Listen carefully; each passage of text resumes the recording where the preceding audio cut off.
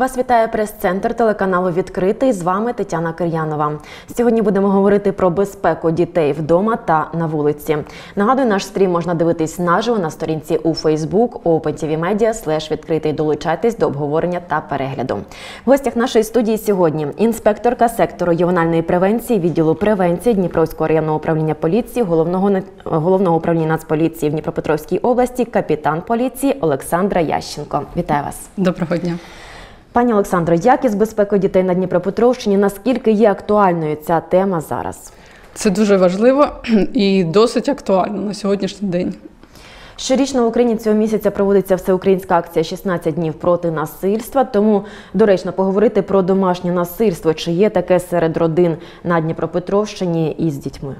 Так, домашнє насильство це досить актуальна тема, так як у нас навіть створений окремий такий підрозділ сектор протидії домашньому насильству в Дніпровському районному управлінні поліції. Тому так, таке є. Е, Воно поділяється на фізичне, сексуальне, психологічне, економічне насильство.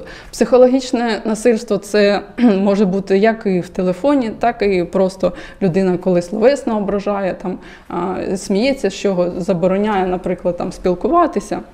Сексуальне це примушує, наприклад, до статевих відносин будь-яких форм, які не є бажаними до іншої особи. А психологічне е, це вже ми назвали. Е, Фізичне це ляпаси, стусани, е, побої, мордування. Там, наприклад, закрили людину вдома і не випускають. Це також до цього відноситься до фізичного.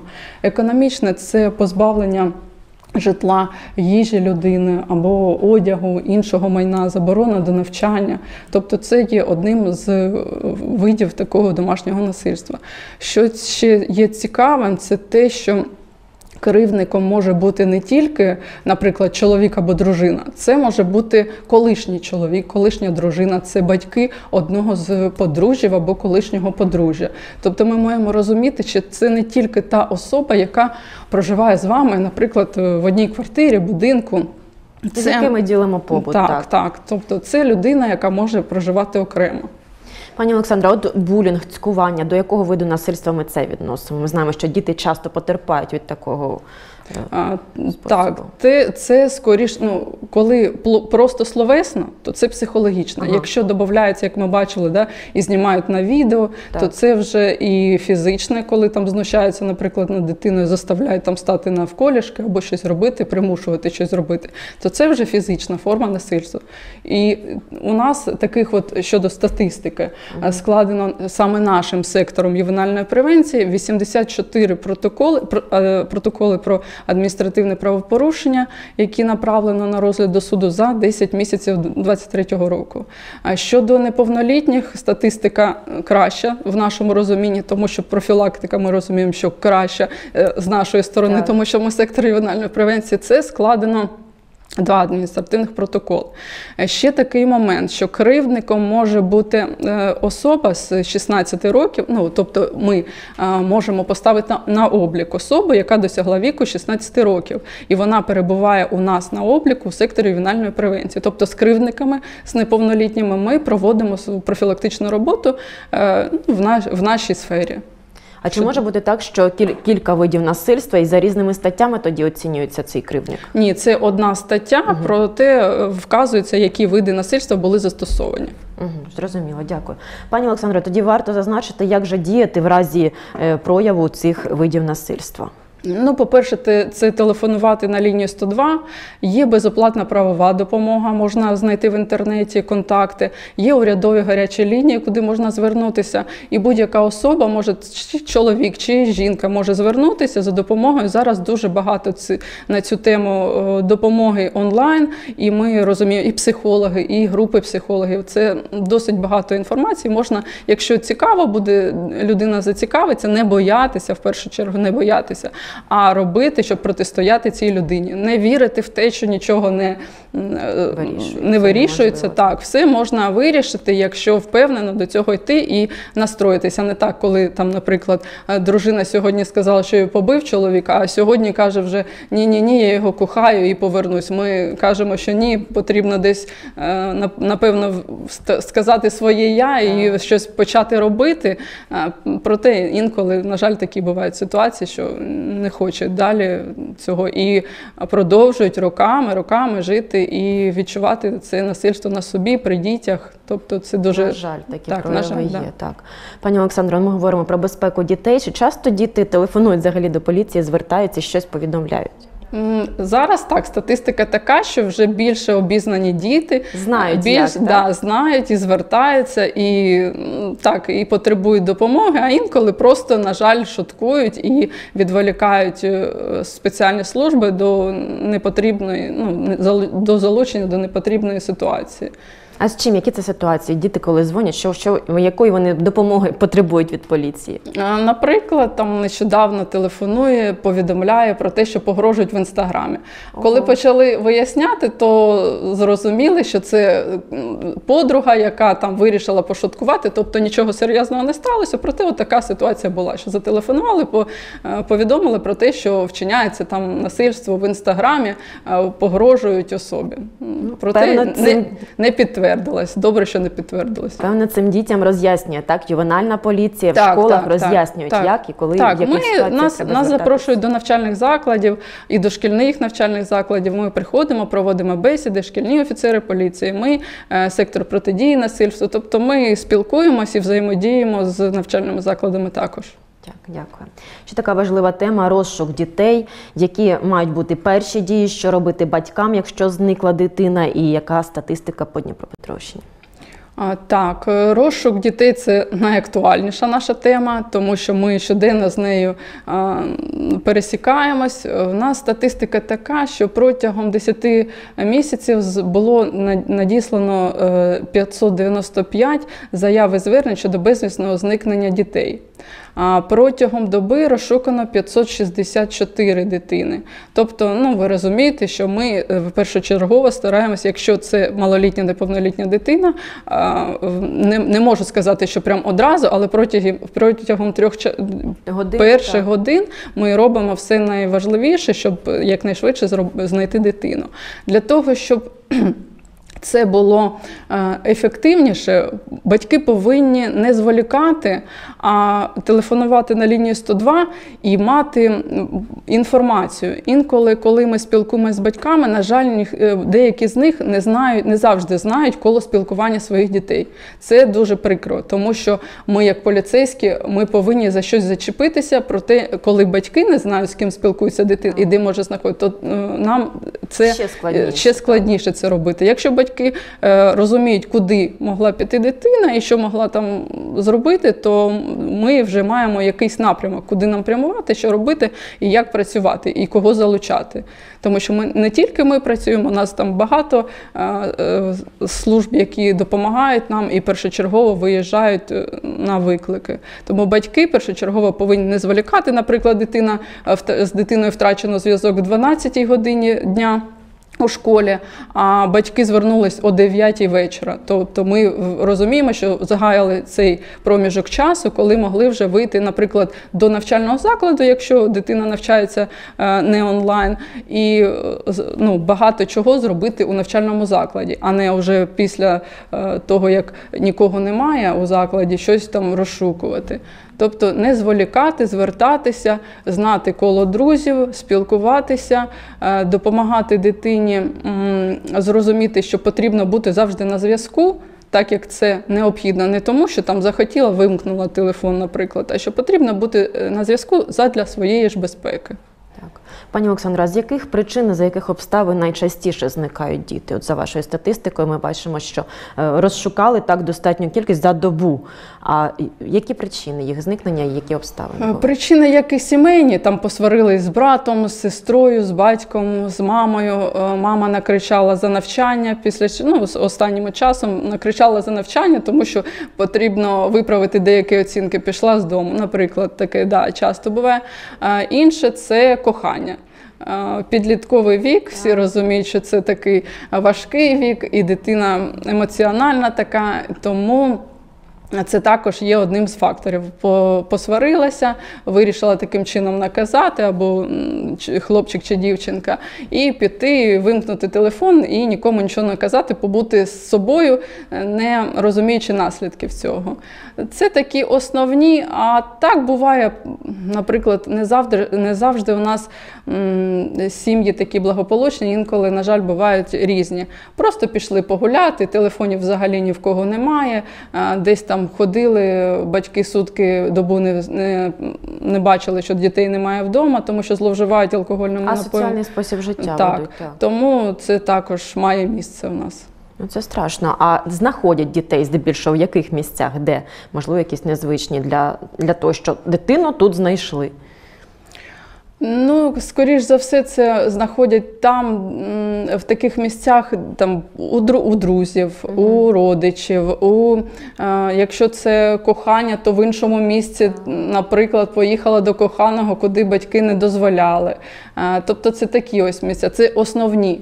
А якщо ну такі, наприклад, якщо дитина з захворюванням, у нас був от випадок, коли от всі містом, всім містом шукали з волонтерами і знайшли дитину поблизу річки. Тобто е, це ми ж повинні розуміти, що не завжди е, за свої дії відповідає, на жаль, дитинка. Тому е, це такі непередбачувані ситуації, які бувають. Дійсно, велика відповідальність лежить на батьках. Так, і так. головне робити правильні дії.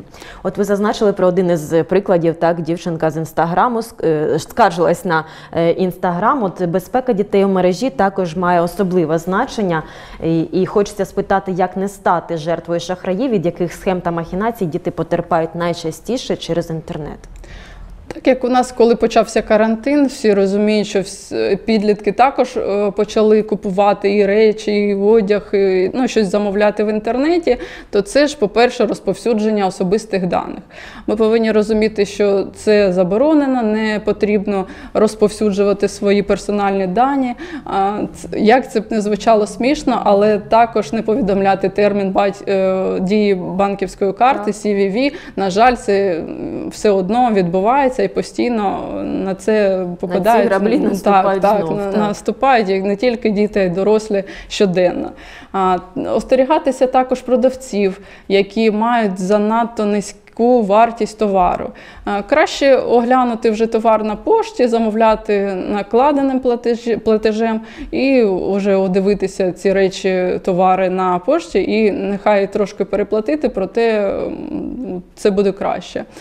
Також пропонують шахраї дуже часто е, роботу, а підлітки ми дуже часто е, спілкуємось і розуміємо, що кожна дитина в свої там 15-16 років хоче підзаробити. І, наприклад, їй пропонують вислати якісь там ручки для роботи або якісь заколочки, щоб працювати вдома, і за це отримувати е, гроші. Е, Дитина ж добре, там 100-200 гривень скидає, ну це як мінімум. Їй обіцяють, що після зарплатні їй повернуть за, за товар ці гроші, але ми розуміємо, що після цього все вимкнено, ні, ні до кого не дотелефонуватись, ні е, з ким не зв'язатись. Це також є. Також ще поширеним видом шахрайства є надсилання щодо виграшу, повідомлення, як там в соціальних мережах, так і просто на е, телефон. Повідомлення про те, що виграш, а виграш зводиться до того, що вам необхідно певну частину Щось коштів сплатити сплатити. Тобто ми маємо розуміти, що це все ж таки е, є, так, є признаком шахрайства. Треба все перевіряти, і тільки з перевірених там сайтів е, або якихось ем, соціальних мереж це все е, робити і усвідомлено робити, і не переходити за якимись посиланнями, які е, сумнівні. Так, Е, ще таке повідомлення також. Ми вважали, що вже такого не може бути щодо повідомлення про близьку людину, яка, наприклад, е, трап- з нею трапилась біда. Е, Ми ж розуміємо, що ми всі люди, і якщо стосується нашої близької людини, то ми всі починаємо стресувати. А якщо це життя та здоров'я, то, по-перше, що нас бентежить, це одразу допомогти. І перша реакція така стресова: щось будь-що зробити, нехай там перевести кошти будь-якій сумі, щоб допомогти близькій людині. Треба опанувати себе, треба перевірити інформацію, і після цього вже зателефонувати насамперед близькій особі. Якщо своїй цій саме особі не можеш дотелефонуватись, то зателефонувати тому, хто може підтвердити або спростувати цю інформацію. Тому треба бути обережними. Перевіряти і Перевіряти. телефонувати Так, родичам так, в першу чергу. Так, так. Пані Олександра, ну ми знаємо, що щодо безпеки дітей в інтернеті е, були такі випадки, коли ігри їх закликали е, брати участь в цих іграх, якісь виконувати страшні е, завдання. Чи є це зараз ще актуальним? Ну, на теперішній час скажу, що майже таки, з такими не, до нас не надходять такі Випадки. звернення, Мгм. так. А це вже краще. Так. Е, Раніше так, частіше це було. Е, Зараз ні, досить рідко надходять такі повідомлення. Насамперед, скоріше за все, вони не підтверджуються. Е, Так, є досить такі просто.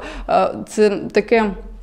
В інтернеті це є така небезпека, що розповсюдження насамперед е, знову ж таки е, своєї конфіденційної інформації може бути. Дитина може столкнутися з цим кібербулінгом, тому що в такому е, підлітковому, підлітковому віці вона ще не готова до того, що вона є псих, ну, психоемоційно не готова до того, що може бути, що хтось може їй погрожувати.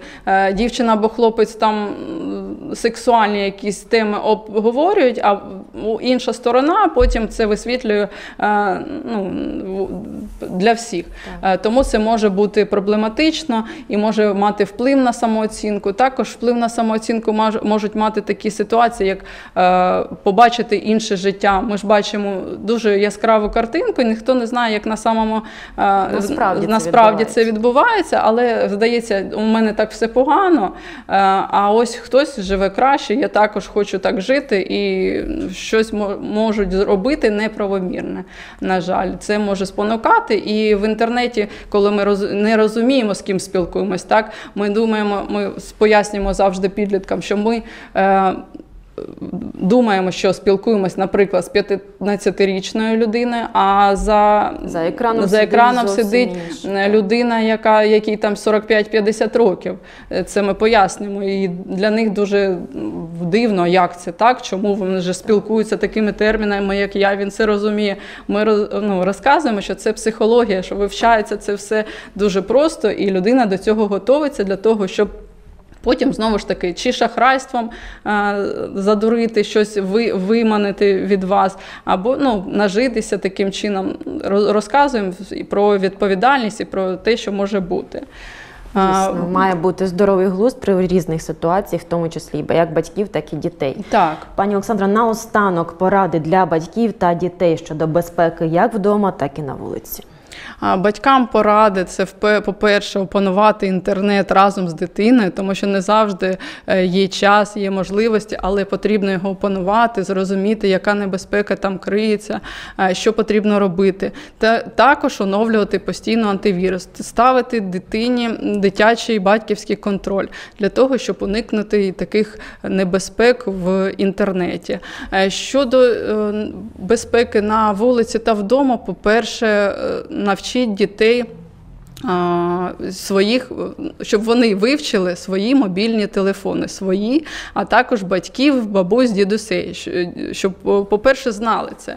А також розповідати потрібно про правила поводження поблизу електромереж, про суворе дотримання правил дорожнього руху, тому що це актуально самокати зараз. Е, Вечірній е, час у нас темні пе- період осінній такий, е, це з з 17-ї години вже так. Потрібно е, досить постійно використовувати світлодіодні так. так, так, світловідбивні наліпки або браслетики, щось будь-що. Тому що от нещодавно, наприклад, о 8 годині вечора йшла, і двоє підлітків їхали на велосипеді без нічого, не розуміючи, що це небезпечно і що їх взагалі а, водій, який на авто, взагалі їх не побачив у темний період часу.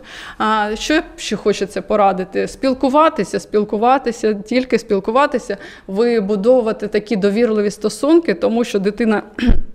Яка вдома буде боятися щось розповісти, то буде шукати десь допомоги на стороні. Тому будьте відповідальними батьками, і наші діти будуть у безпеці. Так, дякую вам за це. Нагадую, ми сьогодні говорили про безпеку дітей вдома та на вулиці. В гостях нашої студії була інспектора, інспекторка сектору ювенальної превенції відділу превенції головного управління Нацполіції в Дніпропетровській області, капітан поліції Олександра Ященко. Для вас працювала Тетяна Кир'янова. До зустрічі в эфире